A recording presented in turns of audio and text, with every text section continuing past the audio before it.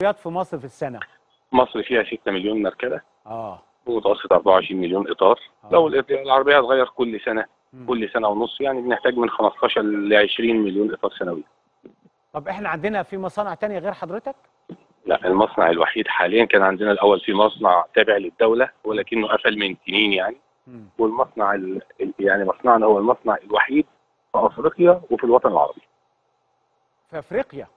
وفي الوطن العربي كله. آه. المغرب ما عندهمش المصنع ده؟ لا ما- لا لا المغرب ولا أي دولة عربية فيها مصنع إطارات.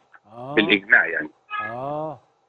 طب محتاجين كم مصنع؟ ده إحنا محتاجين كم آه مصر- 20 30 مصر- مصنع زي زي حضرتك كده.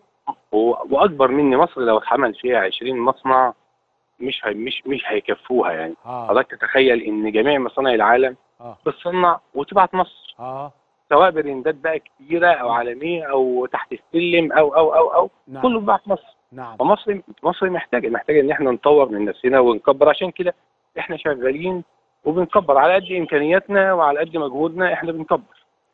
ال- الفئة الأولى من العربيات دي آه قدامكم خطة ليها؟ آه طبعا. بص يا فندم هي مراحل. آه. الأول ناخد الفئة الشعبية هي الشعبية اللي الأكتر. لحد 17 آه. وبعد كده يعني لما الأمور تتحسن هنعمل من 18 لحد 20 ما فيش حاجة ما تتعملش. يعني إحنا كمصنع ما عندناش. ما فيش حاجة ما فيش سقف لأحلامنا. إحنا أنت ممكن تلاقيني إن شاء الله سياده رئيس الجمهورية جاي يفتح مصنع إطارات الطائرات. أنا ما عنديش مشكلة خالص. أنا حلمي إن أنا أعمل كل الإطارات. حلم حلم إحنا شغالين عليه. الإطارات. بنخليه على أرض الواقع يعني. لا إحنا تقدر تعمل إطار طيارة؟ والله هو إيه الصعوبة فيه يعني؟ لا أنا بسأل بص- سؤال. آه والله إيه الصعوبة فيه؟ على فكرة عشان تعمله سهل بس إحنا لازم ناخد موافقة الشركة المصنعة للطيارة إن الإطار يركب فيها آه لو خدنا الموافقة دي نقدر نعمله عندنا عند حضرتك كده نعمله والله ما في مشكلة خالص هو يعني ما كان بص يا فندم. صناعة الإطارات بالنسبة لمصنعنا في الوقت الحالي.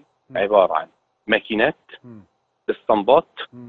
فقط لا غير آه. إمكانيات مادية ماكينات اسطمبات نجيبها ونشتغل لكن إحنا عندنا الخبرة عندنا النو هاو عندنا المهندسين أبنائنا من مهندسين مصريين عندنا عمالة فنية على أعلى مستوى في العالم هم اللي بيقوموا كل. عندنا عمالة صيانة سواء ميكانيكا أو كهرباء أو إنشاءات على أعلى مستوى في العالم إحنا النهارده جهاز السيادة الوزراء شهد إن إحنا جزء من الماكينات كبير جدا إحنا اللي مصنعينه عندنا مم. اللي بتشتغلوا بيه بنشتغل بيه إحنا اللي مصنعين الجزء عندنا يعني إحنا شغالين الموضوع الموضوع ما عادش بالصعوبة ال- اللي هو المستحيل.